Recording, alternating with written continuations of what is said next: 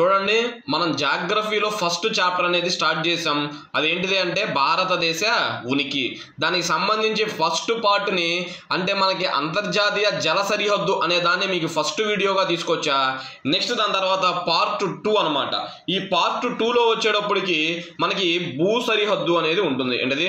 భూ సరిహద్దు. భారతదేశానికి గల అంతర్జాతీయ భూ సరిహద్దు గురించి మీకు ఈ వీడియోలో అయితే నేను తెలియజేస్తాను. చూడండి దీనికి సంబంధించినటువంటి ఇంపార్టెంట్ బిట్స్ అనమాట అసలు భారతదేశం యొక్క భారతదేశం యొక్క అంతర్జాతీయ భూ సరిహద్దు పొడవు ఎంత? ప్రీవియస్ పేపర్స్లో చాలాసార్లు అడిగినటువంటి బిట్టు.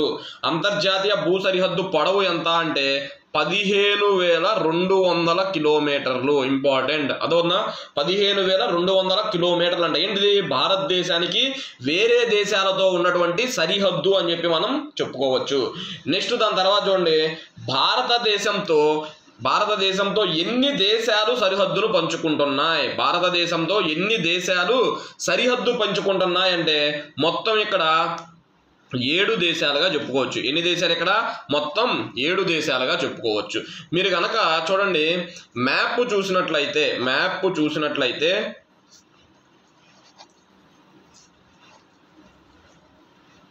మ్యాప్ చూసినట్లయితే చూడండి మనకి ఏంటివి ఆ రాష్ట్ర ఏంటివి మొత్తం ఏడు దేశాలు భారతదేశంతో సరిహద్దు పంచుకుంటున్నాయి అని చూసినట్లయితే ఫస్ట్ది ఇక్కడ ఉన్నటువంటి పాకిస్తాన్.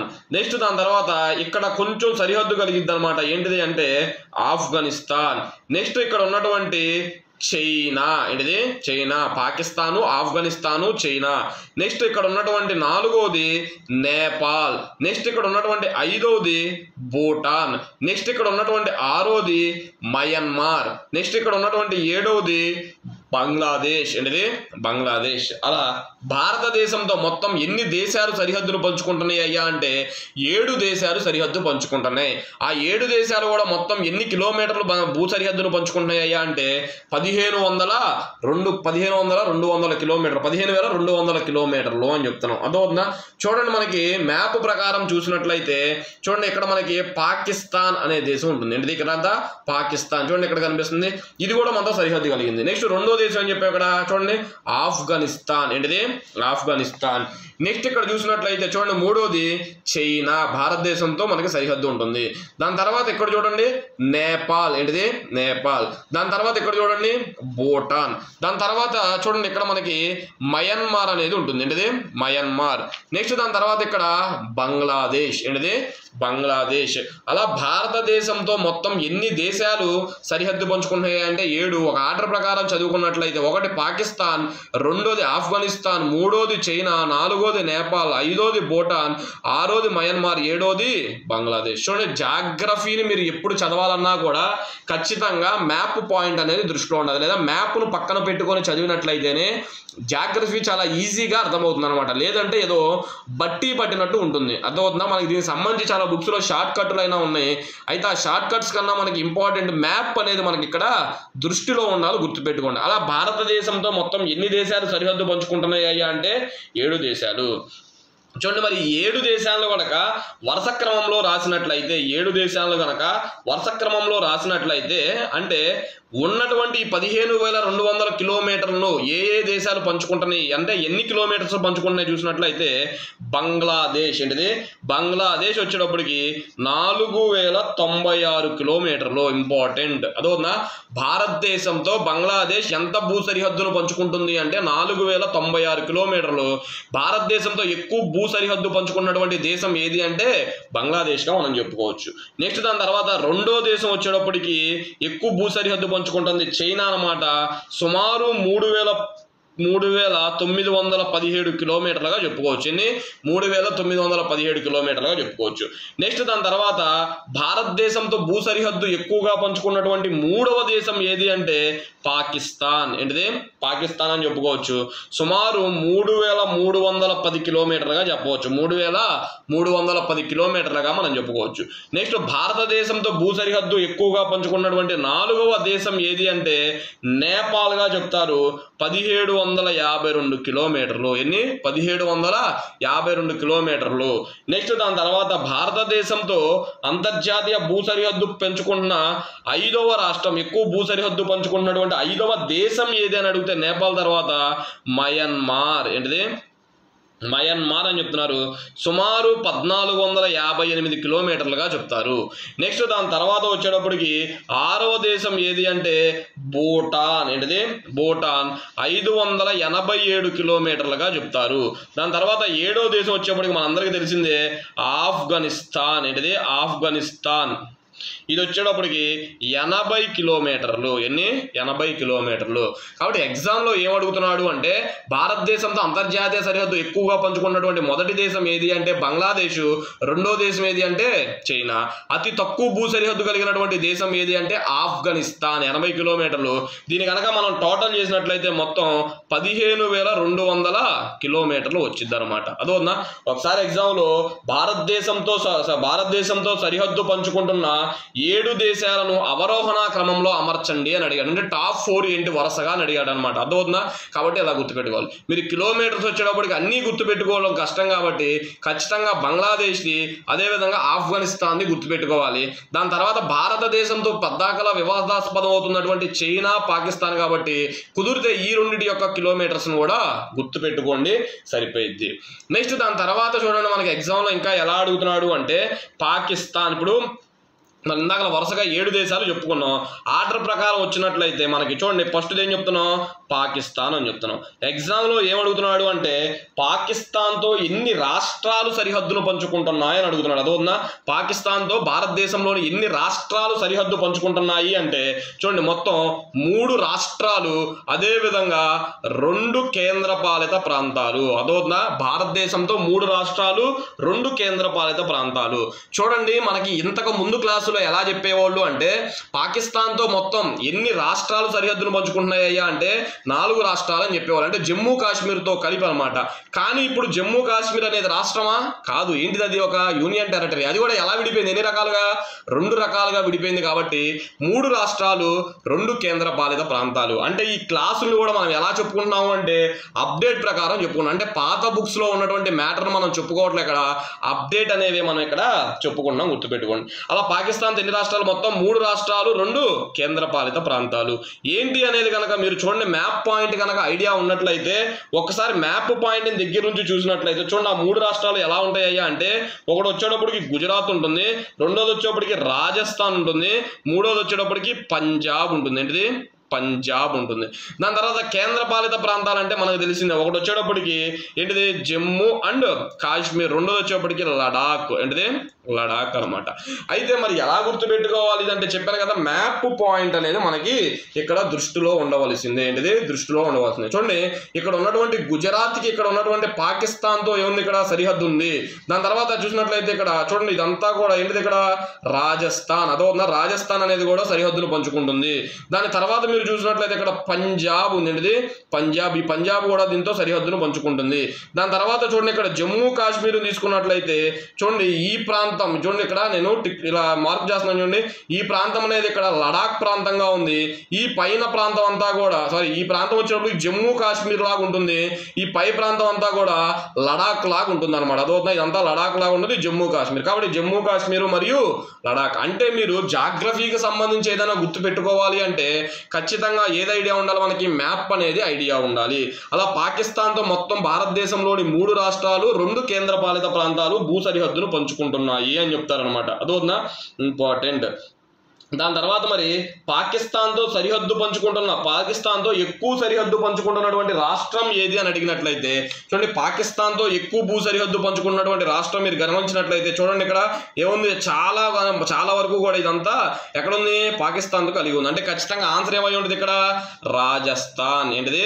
రాజస్థాన్. ఇంపార్టెంట్. నెక్స్ట్ దాని తర్వాత చూడండి పాకిస్తాన్కి సంబంధించింది. నెక్స్ట్ దాని తర్వాత రెండోది వచ్చేటప్పటికి జమ్మూ సారీ రెండోది వచ్చేటప్పటికి ఆఫ్ఘనిస్తాన్. ఏంటిది? ఆఫ్ఘనిస్తాన్.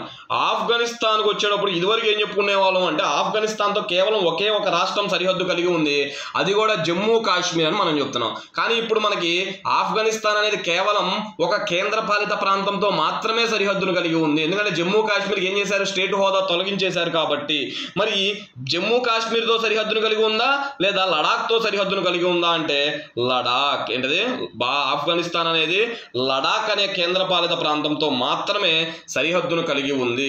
భారతదేశంతో అతి తక్కువ సరిహద్దు కలిగినటువంటి దేశం ఏది అంటే ఆఫ్ఘనిస్తాన్ అని చెప్పి మనం చెప్పుకుంటాం. మీరు మ్యాప్ ప్రకారం చూసినట్లయితే చూడండి ఇది మొత్తం జమ్మూ కాశ్మీర్ అని చెప్పాను. ఈ పైది మొత్తం ఏంటిది? ఆఫ్ఘనిస్తాన్ అని చెప్పాను మనకి ఆఫ్ఘనిస్తాన్ అనేది ఇక్కడ ఈ కొంచెం ప్రాంతం మాత్రమే భారతదేశంతో సంబంధం పెట్టుకొని ఉంటుందన్నమాట. కాబట్టి రెండోది ఆఫ్ఘనిస్తాన్. నెక్స్ట్ దాని తర్వాత మూడోది చూడండి. చైనా. ఏంటిది? మూడోది వచ్చేటప్పటికి చైనా అని చెప్పుకోవచ్చు. చైనాతో వచ్చేటప్పటికి చూడండి ఇక్కడ మొత్తం నాలుగు రాష్ట్రాలు. ఎన్ని రాష్ట్రాలు? నా చైనాతో నాలుగు రాష్ట్రాలు. ఒక కేంద్రపాలిత ప్రాంతం అనేది భూ సరిహద్దు కలిగి ఉంది. చైనా భారతదేశంలో ఎన్ని రాష్ట్రాలతో సరిహద్దును కలిగి ఉందంటే నాలుగు రాష్ట్రాలు. అదేవిధంగా ఎన్ని కేంద్రపాలిత ప్రాంతాలతో అంటే ఒకటి. మరి ఏంటి ఆ కేంద్రపాలిత ప్రాంతం అంటే చూడండి లడాక్. ఏంటిది? లడాక్తో ఇక్కడ మనకి సరిహద్దును కలిగి ఉంది. అని చెప్తారు. దాని తర్వాత మరి రాష్ట్రాలు కనుక తీసుకున్నట్లయితే ఒకటి వచ్చేటప్పటికి హిమాచల ప్రదేశ్ అవుతుంది రెండోది వచ్చేటప్పటికి ఉత్తరాఖండ్ అవుతుంది మూడోది వచ్చేటప్పటికి సిక్కిం అవుతుంది నాలుగోది వచ్చేటప్పటికి అరుణాచల్ ప్రదేశ్ అవుతుంది. ఏంటిది? అరుణాచల్ ప్రదేశ్.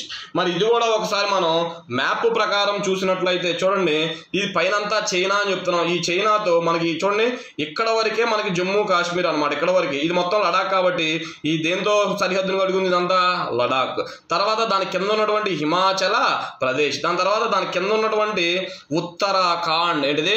ఉత్తరాఖండ్. ఉత్తరప్రదేశ్కు ఉండదు. చూడండి ఉత్తరప్రదేశ్కి ఎందుకంటే ఇక్కడ నుండి మనకి నేపాల్ ఉంటుంది కాబట్టి ఉత్తరప్రదేశ్ అనేది చైనాతో కలవదు. కాబట్టి ఉత్తర ఖాండ్ అని చెప్పుకుంటున్నాం ఇంపార్టెంట్ దాని తర్వాత మీరు చూసినట్లయితే చూడండి ఇక్కడ సిక్కిం ఏంటిది? సిక్కిం అనేది కూడా ఈ పైన చైనా ఉంటుంది అనమాట దాని తర్వాత అరుణాచల్ ప్రదేశ్ తీసుకున్నట్లయితే ఇక్కడ దీనిపైన ఏముంది? ఇక్కడ మనకి ఇదంతా కూడా చైనా అని చెప్తున్నాం. కాబట్టి ఖచ్చితంగా మనకి ఇక్కడ తెలుసుకోవాల్సింది ఏంటంటే చైనాతో ఒక కేంద్రపాలిత ప్రాంతం మరియు నాలుగు ఏమున్నాయి? రాష్ట్రాలతో సరిహద్దు ఉంది అని చెప్పి ఇక్కడ చెప్తున్నాం అనమాట ఇంపార్టెంట్ మరి ఎక్కువ తీరరేఖ పంచుకుంటున్నటువంటి రాష్ట్రం ఏది? చైనాతో ఎక్కువ తీరరేఖ పంచుకున్నటువంటి రాష్ట్రం ఏది అంటే ఆన్సర్ ఏమైంది అంటే అరుణాచల ప్రదేశ్ అయింది ఇంపార్టెంట్ నెక్స్ట్ దాని తర్వాత నాలుగోది చూడండి. నేపాల్. ఏంటిది? నేపాల్.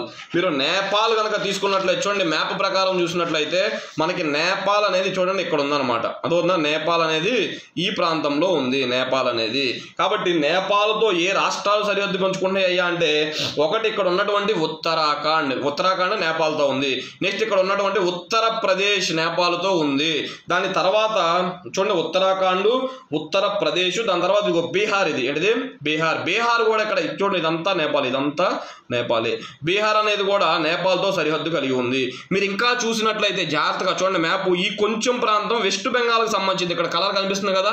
ఇది చూడండి ఇక్కడ కలర్ కనిపిస్తుంది కదా? ఇది వెస్ట్ బెంగాల్ అనమాట ఈ వెస్ట్ బెంగాల్ అనేది ఈ కొంచెం ప్రాంతం కూడా ఇక్కడ నేపాల్తో సంబంధాన్ని కలిగి ఉంది.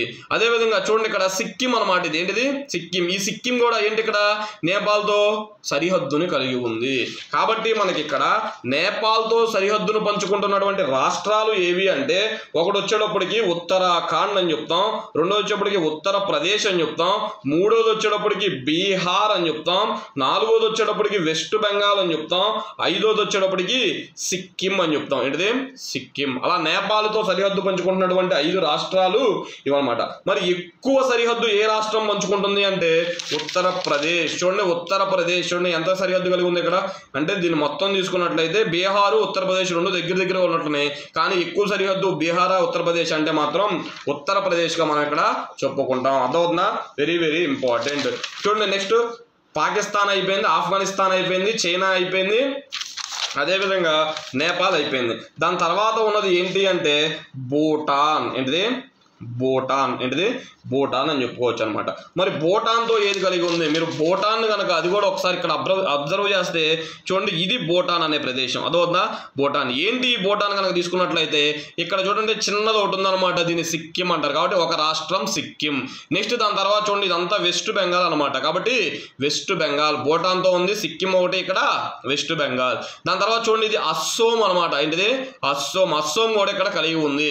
నెక్స్ట్ దాని తర్వాత చూసినట్లయితే ఇక్కడ అరుణాచల ప్రదేశ్ అండిదే అరుణాచల ప్రదేశ్. కాబట్టి భూటాన్తో భూ సరిహద్దు పంచుకున్నటువంటి రాష్ట్రాలు ఏదంటే సిక్కిం వెస్ట్ బెంగాల్ అస్సాం మరియు అరుణాచల ప్రదేశ్. అదోనా భూటాన్ అనగానే చూడండి ఒకటి సిక్కిం అని చెప్తున్నాం రెండు వెస్ట్ బెంగాల్ అని చెప్తున్నాం మూడు అరుణాచల్ ప్రదేశ్ నాలుగోది వచ్చేప్పటికి అస్సోం అని చెప్పి చెప్పుకోవడం జరుగుతుంది.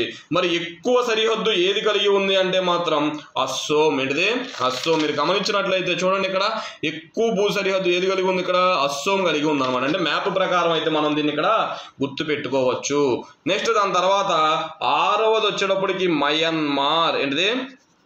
మయన్మార్ అంటున్నారు. మయన్మార్ వచ్చేటప్పటికి ఏ ఏ రాష్ట్రాలతో కలిగి ఉంది అంటే ఒకటి వచ్చేటప్పటికి అరుణాచల ప్రదేశ్ అంటారు. ఏంటిది? అరుణాచల ప్రదేశ్. రెండోది వచ్చేటప్పటికి నాగాల్యాండ్ ఏంటిది? నాగాల్యాండ్ దాని తర్వాత మూడోది వచ్చేటప్పటికి మణిపూర్. ఏంటిది? పూర్ నాలుగోది వచ్చేటప్పటికి మిజోరం. ఏంటిది? మిజోరం. మనకి ఈశాన్య రాష్ట్రాలు అనేవి కొంచెం కష్టంగా ఉంటాయి కాబట్టి గుర్తుపెట్టుకోవాలి అంటే ఏది ఎక్కడ ఉందో ఎగ్జాక్ట్గా తెలియదు కాబట్టి దీనికి సంబంధించి ఒక బండ గుర్తులాగా ఎలా గుర్తుపెట్టుకోవచ్చు అంటే అనామమి. ఏంటిది? అనా మమ్మీగా గుర్తుపెట్టుకోవచ్చు. ఒక బండ గుర్తులాగా అనమాట అనామమి అంటే ఆ అంటే ఏంటి? అరుణాచల్ ప్రదేశ్. నా అంటే నాగాలాండ్. మా అంటే మణిపూర్. మీ అంటే మిజోరాం. కాబట్టి మయన్మార్తో సరిహద్దు పంచుకున్నటువంటి నాలుగు రాష్ట్రాలు ఇవన్నమాట. చూడండి ఒకసారి కనుక మనం మ్యాప్ తీసుకున్నట్లయితే ఇక్కడ మ్యాప్ తీసుకున్నట్లయితే ఇక్కడ మయన్మార్ ఉంటుంది. చూడండి ఇక్కడ ఏంటి ఉంది? అరుణాచల్ ప్రదేశ్. దాని తర్వాత ఇక్కడ కిందే చూడండి నాగాలాండ్. నెక్స్ట్ ఇక్కడ మణిపూర్. నెక్స్ట్ ఇక్కడ మిజోరం. కాబట్టి అనా మమ్మీ. ఇలా నాలుగు రాష్ట్రాలని కూడా మనం ఇక్కడ గుర్తుపెట్టుకోవచ్చు అని చెప్తున్నారు. అదేవిధంగా మయన్మార్తో ఎక్కువ సరిహద్దు పంచుకుంటుంది ఏది అంటే మాత్రం చూడండి ఈ ఏరియా మొత్తము కూడా మయన్మార్తోనే సరిహద్దును పంచుకుంటుంది. కాబట్టి అది ఏ స్టేటు? అరుణాచల ప్రదేశ్ అనమాట అదవుతుందా మయన్మార్తో ఎక్కువ సరిహద్దు పంచుకున్నటువంటి రాష్ట్రం ఏది అంటే మయన్మార్గా చెప్పుకోవచ్చు. నెక్స్ట్ దాని తర్వాత చూడండి చిట్ట చివరిది బంగ్లాదేశ్. ఏంటిది? బంగ్లాదేశ్. బంగ్లాదేశ్ ఇందాక చెప్పుకున్నాం నాలుగు వేల తొంభై ఆరు కిలోమీటర్లు అని. చూడండి దీనికి సంబంధించి ఎన్ని రాష్ట్రాలతో పంచుకుంటుందంటే ఐదు రాష్ట్రాలు. ఏంటిది అంటే అది? ఒకటి వచ్చేప్పటికి పశ్చిమ బెంగాల్ అంటారు. ఏంటిది? పశ్చిమ బెంగాల్. రెండోది వచ్చేటప్పటికి మిజోరం. ఏంటిది? మిజోరం అంటారు. మూడోది వచ్చేటప్పటికి అస్సోం. ఏంటిది? అస్సోం. నాలుగోది వచ్చేటప్పటికి త్రిపుర. ఏంటది? త్రిపుర. ఐదోది వచ్చేటప్పటికి ఇంకా మేఘాలయ. ఏంటది? మేఘాలయ. దీనికి సంబంధించి ఏదైనా బండ గుర్తు ఇది కూడా ఈశాన్య రాష్ట్రాలు ఉన్నాయి కాబట్టి వెంటనే గుర్తుపట్టలేము. కాబట్టి చూడండి పిఎం ఏటీఎం ఏంటది? పిఎం ప్రధానమంత్రి యొక్క automated teller machine PM ATM అని గుర్తుపెట్టుకున్నాం అనుకోండి. పి అంటే పశ్చిమ బెంగాల్ ఎం అంటే మిజోరం ఏ అంటే అస్సోం టీ అంటే త్రిపుర ఎం అంటే మేఘాలయ. అంటే జస్ట్ కేవలం ఒక బండ గుర్తులాగా పెట్టుకోవడం కోసమే. చూడండి ఇక్కడ మనకు గనక మ్యాప్లో చూసినట్లయితే మ్యాప్లో చూసినట్లయితే ఇది మొత్తము కూడా బంగ్లాదేశ్ ఇక్కడ ఉన్నటువంటి వెస్ట్ బెంగాల్ కనిపిస్తున్నాయి వెస్ట్ బెంగాల్ చూడండి ఇదంతా వెస్ట్ బెంగాల్. ఒక రాష్ట్రం అయిపోయింది. దాని తర్వాత వెస్ట్ బెంగాల్ తర్వాత ఏం చెప్పాను ఇక్కడ? మిజోరం చెప్పాను చూడండి మిజోరం ఏడుంది ఇది మిజోరం మిజోరం. అదొంది ఇదిగోండి ఇది మిజోరం. ఈ మిజోరం అనేది కూడా ఇక్కడ బంగ్లాదేశ్తో కలిసి ఉంది అని చెప్తున్నాం. నెక్స్ట్ దాని తర్వాత మూడోది ఏం చెప్తున్నాం? అస్సోం. చూడండి ఇదంతా కూడా ఇది ఇదంతా కూడా మనకి ఇక్కడ అస్సోంగా మనం చెప్పుకోవచ్చు. నెక్స్ట్ త్రిపుర అంటే చూడండి ఇక్కడ ఉంది త్రిపుర. ఇది త్రిపుర. నెక్స్ట్ మేఘాలయ అంటే ఇది మేఘాలయ. అంటే మ్యాప్ ప్రకారం అయితే మనం ఈజీ గుర్తు పెట్టుకోవచ్చు. లేదంటే ఇలా ఏదో ఒక బండ గుర్తు పెట్టుకొని అయితే పెట్టుకోవచ్చు. అదవుతుందా కాబట్టి బంగ్లాదేశ్ అనేది ఎన్ని కిలోమీటర్లు? నాలుగు వేల తొంభై ఆరు కిలోమీటర్లు. భారతదేశంతో అది అధిక సరిహద్దు పంచుకుంటున్నటువంటి దేశం ఏదంటే బంగ్లాదేశ్. అదేవిధంగా బంగ్లాదేశ్తో అధిక సరిహద్దు పంచుకున్నటువంటి రాష్ట్రం ఏది అని అడిగాడు అనుకోండి పశ్చిమ బెంగాల్. చూడండి డయాగ్రామ్లో మీకు ఈజీగా కనిపిస్తుంది.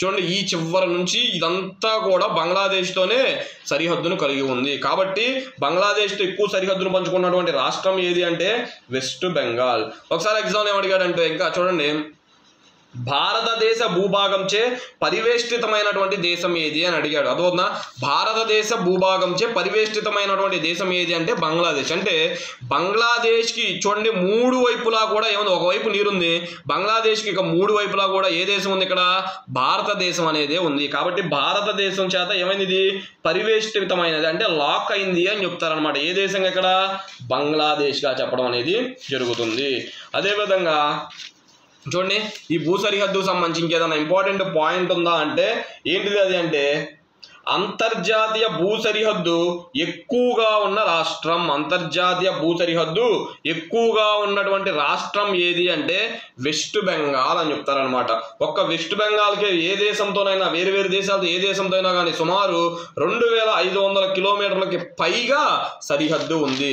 మీరు మ్యాప్ చూసినట్లయితే జాగ్రత్తగా చూసినట్లయితే చూడండి ఇక్కడ. వెస్ట్ బెంగాల్కి ఇటు పక్కన వచ్చేటప్పటికి దేంతో నేపాల్తో సంబంధాలు ఉన్నాయి. అదొక నేపాల్తో సరిహద్దు ఉంది. ఇటు పక్కన భూటాన్తో సరిహద్దు ఉంది. ఇటు పక్కన వచ్చేటప్పటికి బంగ్లాదేశ్తో కూడా ఏముంది ఇక్కడ మనకి? సరిహద్దు అనేది ఉంది అని చెప్తున్నాం అనమాట ఓకే? ఇది కాబట్టి భారతదేశంతో భారతదేశంలో ఏ రాష్ట్రం అనమాట భారతదేశంలో అంతర్జాతీయ భూ సరిహద్దు ఎక్కువగా ఉన్నటువంటి రాష్ట్రం ఏది అంటే వెస్ట్ బెంగాల్. సుమారు రెండు వేల ఐదు వందలకు కిలోమీటర్లకు పైగా. అదేవిధంగా భారతదేశంలో అంతర్జాతీయ భూ సరిహద్దు తక్కువగా ఉన్నటువంటి రాష్ట్రం ఎక్కువగా అయితే వెస్ట్ బెంగాల్ అని చెప్పాం. మరి తక్కువగా అయితే ఏ రాష్ట్రము అంటే నాగాల్యాండ్ ఏంటిది? నాగాల్యాండ్ కేవలం సుమారు రెండు వందల కిలోమీటర్లు మాత్రమే. అదవుతుందా నాగా ల్యాండ్ చెప్పుకుంటున్నాం. ఎక్కడుంది నాగాల్యాండ్ అంటే చూడండి మనకి. ఇక్కడ ఉందన్నమాట నాగాల్యాండ్ ఇక్కడ మయన్మార్తో మాత్రమే ఇది కేవలం సరిహద్దును పంచుకుంటూ ఉంది అని చెప్పి చెప్తారు అనమాట నెక్స్ట్ దాని తర్వాత చూడండి. దీనికి సంబంధించినటువంటి ఇంకొక రెండు మూడు ఇంపార్టెంట్ బిట్స్ అయితే ఉన్నాయి. ఏంటిది అంటే చూడండి మూడు వైపులా మూడు వైపులా ఒకే దేశంతో అంతర్జాతీయ సరిహద్దు కలిగినటువంటి రాష్ట్రం ఏది అని అడిగాడు. అదోనా మూడు వైపులా కూడా ఒకే దేశంతో మూడు వైపులా కూడా ఒకే దేశంతో అంతర్జాతీయ సరిహద్దు కలిగిన రాష్ట్రం ఏది అంటే ఆన్సర్ ఇక్కడ ఏమైంది అంటే త్రిపుర. అదోనా మూడు వైపులా కూడా ఒకే దేశం అంట చూడండి ఒకసారి మీరు మ్యాప్ పాయింట్లో కనుక చూసినట్లయితే ఇక్కడ త్రిపుర అనేది ఉంటుంది. అదోనా త్రిపుర. ఈ త్రిపురకి పైన బంగ్లాదేశే కింద బంగ్లాదేశే ఎడం పక్కన కూడా బంగ్లాదేశే. కేవలం కుడి పక్కన మాత్రమే భారతదేశం ఉంది. మిగతా మూడు వైపులా కూడా ఏముంది? ఒకే దేశంతో ఉందన్నమాట బంగ్లాదేశ్. కాబట్టి ఆన్సర్ ఏమైంది? మూడు వైపులా ఒకే దేశంతో అంతర్జాతీయ సరిహద్దు పంచుకున్నటువంటి రాష్ట్రం ఏది అంటే ఏమని చెప్పొచ్చు ఇక్కడ? త్రిపుర అని చెప్పొచ్చు. మరి చూడండి మూడు వైపులా మూడు వైపులా మూడు దేశాలతో సరిహద్దు పంచుకున్నటువంటి కేంద్రపాలిత ప్రాంతం ఏది అని అడిగాడంటే మూడు వైపులా మూడు వైపులా మూడు దేశాలతో సరిహద్దు పంచుకున్నటువంటి కేంద్రపాలిత ప్రాంతం ఏది అని అడిగాడంటే లడఖ్గా చెప్పుకోవచ్చు. ఏమని చెప్పుకోవచ్చు మనం? లడఖ్. ఎందుకంటే ఈ లడఖ్కి పాకిస్తాన్తో సరిహద్దు ఉంది ఆఫ్ఘనిస్తాన్తో సరిహద్దు ఉంది చైనాతో కూడా సరిహద్దు ఉంది అని చెప్తారనమాట అదవుతుందా ఇదొకటి మనకి ఇక్కడ ఖచ్చితంగా మీరు నోట్ చేసుకోవాల్సినటువంటి ఇంపార్టెంట్ బిట్గా మనం చెప్పుకోవచ్చు. నెక్స్ట్ దాని తర్వాత ఇంకా చూడండి.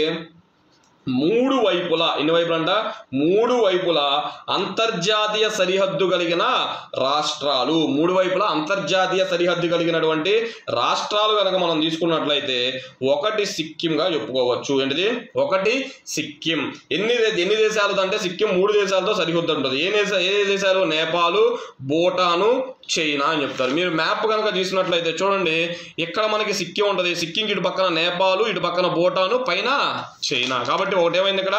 సిక్కిం అనేది అవుతుంది. నెక్స్ట్ దాని తర్వాత రెండోది వచ్చేటప్పటికి వెస్ట్ బెంగాల్ అని చెప్తారు. ఏంటిది? వెస్ట్ బెంగాల్. వెస్ట్ బెంగాల్కి ఏ దేశాలతో ఉంది అంటే ఒకటి నేపాలు రెండు భూటాను మూడు బంగ్లా. ఏంటిది? బంగ్లాదేశ్. చూడండి ఇది మొత్తం కనుక ఏంటిది ఇక్కడ? ఇది మొత్తం వెస్ట్ బెంగాల్ అన్నాం.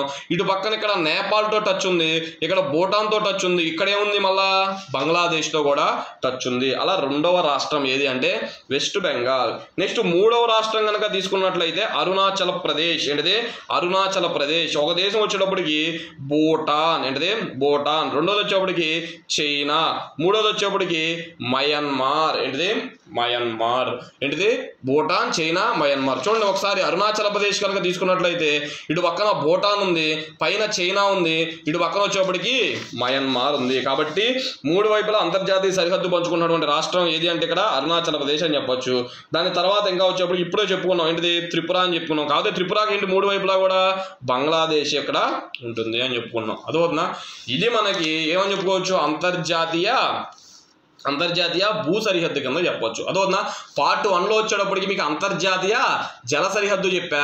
పార్ట్ టూలో వచ్చేటప్పటికి అంతర్జాతీయ భూ సరిహద్దు చెప్పా అదోనా ఇవన్నీ కూడా దేంట్లో భాగంగా? జాగ్రఫీలోని భారతదేశ ఉనికి అనేటటువంటి చాప్టర్లో. చూడండి భారతదేశ ఉనికి అనేది ఇంకా ఇక్కడ అవ్వాలా దీనికి సంబంధించి ఇంకా ఇంపార్టెంట్ మ్యాటర్స్ అనేవి ఉన్నాయి. కాబట్టి వీటిని మరలా నేను నెక్స్ట్ వీడియో ఇప్పటికే ఈ వీడియో చాలా లెంత్ అయిపోయింది. కాబట్టి ఖచ్చితంగా ఇంకొక పార్ట్ రూపంలో పార్ట్ త్రీ రూపంలో మరలా ఇంకొంచెం ఇన్ఫర్మేషన్ మీ ముందుకైతే తీసుకువస్తా.